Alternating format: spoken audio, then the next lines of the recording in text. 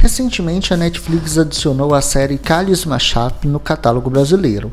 O primeiro ano da série estreou com sucesso entre os assinantes, e todos querem saber quando estreia a segunda temporada na Netflix. A primeira temporada chegou no catálogo do serviço em março e a segunda já foi toda exibida pela Nickelodeon. Com isso, a chegada do novo ano na Netflix é questão de tempo.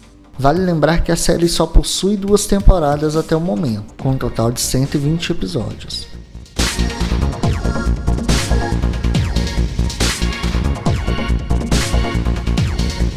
A série é uma produção argentina, mas foi distribuída em diversos países na América Latina.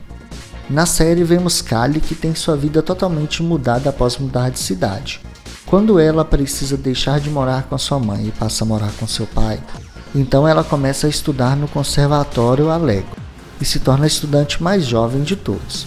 Lá ela começa a fazer muitos amigos, enquanto se adapta às regras rígidas do conservatório e aprende a viver com seu pai. Agora ela está procurando sua voz verdadeira, sua identidade, entre o piano clássico e a música pop. O primeiro é seu instrumento desde jovem, e o segundo sua paixão secreta.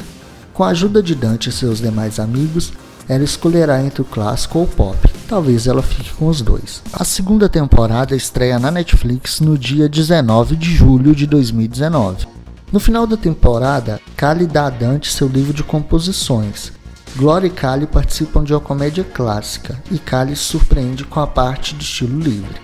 Na segunda temporada, todos os personagens têm um crescimento.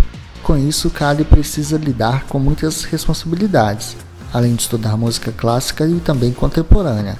Essa temporada mostra ainda mais seu relacionamento com Dante. Gostou desse vídeo? Então não se esqueça de se inscrever no nosso canal, ok? Um abraço e até mais.